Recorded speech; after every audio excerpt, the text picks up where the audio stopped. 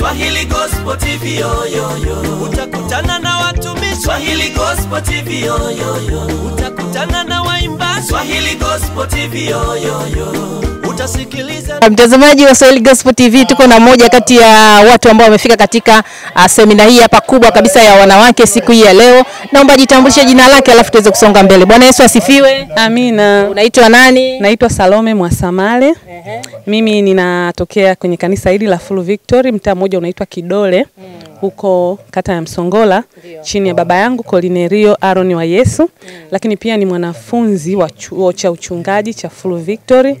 Kwa hiyo ninatarajia kuwa mchungaji baada ya kumaliza kozi hii, lakini pia ni mmoja wa watoa mada katika semina hii, mada ya malezi na ndoa.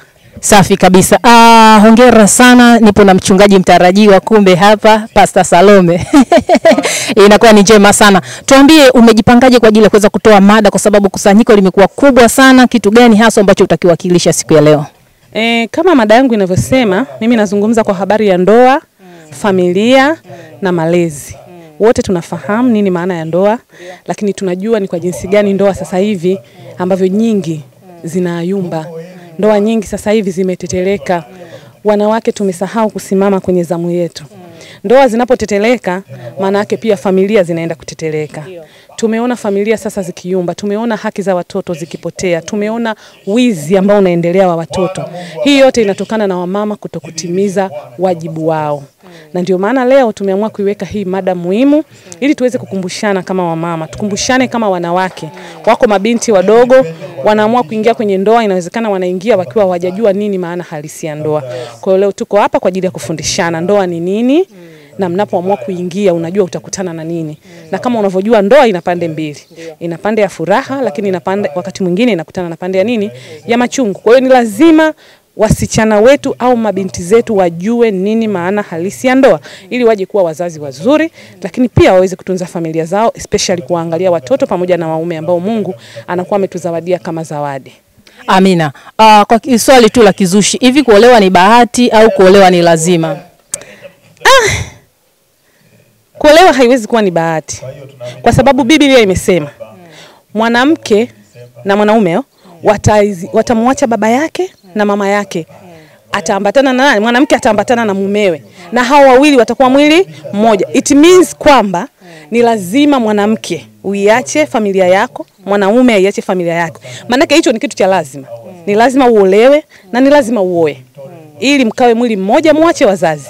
Hamwezi kuendelea kuishi kwenye familia. Maana yake ni kwamba kuolewa ni lazima, ama kuoa ni lazima. Hilo alikwepeki. Okay.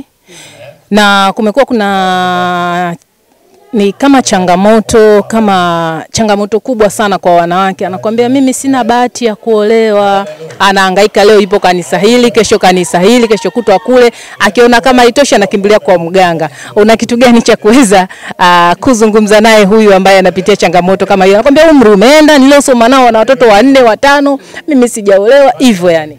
Uh, unajua unajua ukiokoka ukiwa ndani ya Yesu unakutana na vitu vizuri, na ukiwa ndani ya Yesu hukutani na, na, na, na uwezi huwezi kuwa na maswali kama hayo, kwa sababu yani Biblia unajua kila kitu imeweka wazi eh?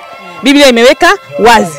Biblia yenyewe imetuambia ombeni nanyi mtafanya nini? Mtapewa. Tafuteni nanyi mtaona, bisheni nanyi mtafunguliwa. Mathayo saba saba hiyo. Yes, kwa nini wewe ufike mahali uwe na shaka? Eh? Na neno la Mungu ni amina. Amina maana yake ni hakika. Yaani neno la Mungu ni amina. Mungu hajawahi kusema uongo. Kama hajawahi kusema uongo, kwa nini wewe utie shaka? Huo ni ukosefu wa imani. Inawezekana ni kwa sababu hujaisoma vizuri Biblia au hujamjua vizuri Yesu. Lakini ukimjua Yesu, yani kuolewa ni lazima, una sababu ya kutangatanga. Kuzaa ni lazima. Wapo watu wanasema mimi ni mgumba, lakini tunawaona watu walizaa wakiwa na umri mkubwa. Mtu amezaa na miaka mingapi? Tunamwona Sara. Sara amezaa akiwa na umri mkubwa sana. Ni kwa sababu aliendelea kumtumaini nani? Mungu. Tunamwona mtu kama Hana. Hana alikaa muda mrefu, alitukanwa na, na mwanamke mwenzie Penina, lakini alienda mbele za Bwana akamwambia Mungu, mimi ni mwanamke mnyonge, ninahitaji mtoto, nipe tena, sitaki wa kike, nipe mtoto wa nini? Wa kiume. Na Mungu kwa imani kabisa alimpa mtoto, alimpa mtoto anayeitwa Samueli. Nenda kasome kwenye Samueli wa kwanza. Ukianzia pale Samueli ya kwanza utampata vizuri Hana.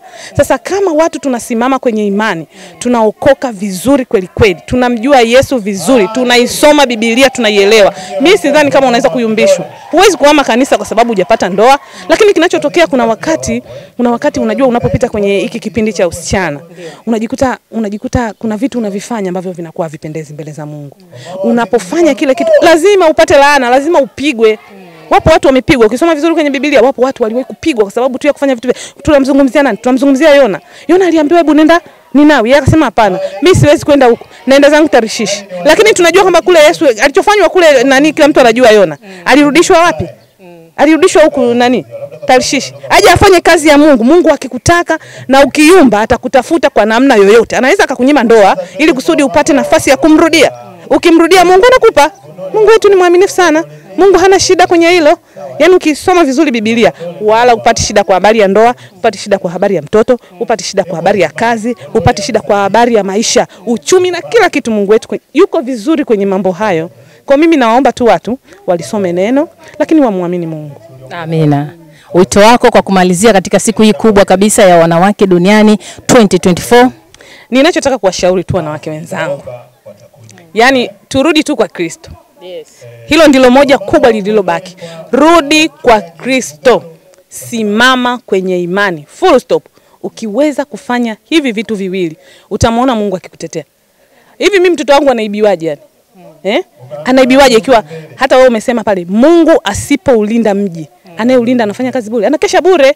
Eh, Mungu asipoijenga nyumba, anayeijenga anafanya kazi bure. Sasa kama Mungu kumbe analinda watoto wangu, kumbe Mungu anailinda ndoa yangu, kumbe Mungu analinda kazi yangu, kwa nini nipate shida? Naamka asubuhi, mimi nina- ninako ka utaratibu najua eh, mpaka huwa watu wananishangaa. Mimi mwanangu, watoto wangu wanapoondoka kwenda shule, anapokuja kuomba hela anasema mama niombe kwa sababu ndio ka utaratibu niliko kaweka.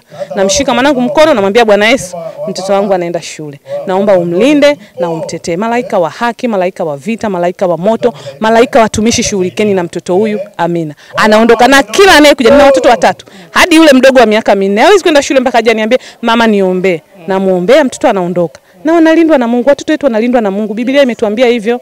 Kwa hiyo mimi wito wangu wa mama, tusimame kwenye zamu yetu kwa kuokoka vizuri na kumtumikia Kristo kwa nguvu zetu zote, kila jambo litaenda sawa. Amina. Amina. Ya mtazamaji, uh, mtoa mada huyu hapo umemsikiliza kwa uzuri kabisa. Naamini kipo ambacho utajifunza, na kama bado hujachelewa, hakikisha unatumia utaratibu mzuri kabisa wa kumwamini Mungu, uwe wa imani yoyote ile, lakini tunaamini Mungu wetu ni mmoja, na hakikisha basi tunamtegemea huyo ili mambo yaweze kwenda sawa. Mimi naitwa Helen, asante sana kwa taimu yako na Mungu akubariki sana. Bye bye. Swahili Gospel TV yo, yo, yo. Utakutana na watumishi Swahili Gospel TV yo, yo, yo. Utakutana na waimbaji Swahili Gospel TV yo, yo, yo. Utasikiliza